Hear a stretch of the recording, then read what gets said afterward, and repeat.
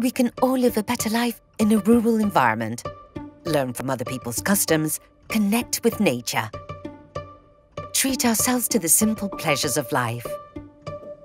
However, people who live in small rural communities don't always have the resources they need to live life the way they want to.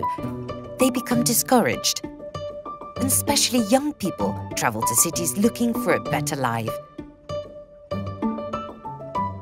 LIVERUR firmly believes in giving opportunities to these communities, in creating wealth and setting an example with a circular, inclusive, sustainable, exemplary economy.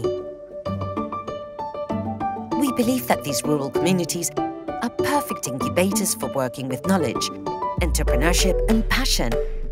And this is why we choose these places to transform into living labs, where people and small and medium agriculture enterprises can need to work towards a common goal, turning their day-to-day -day way of life into a better opportunity for everyone.